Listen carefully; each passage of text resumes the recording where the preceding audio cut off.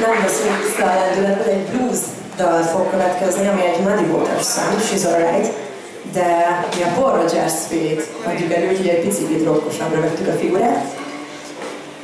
És szerintem más nem is tudok erről a dalról, úgyhogy She's Alright.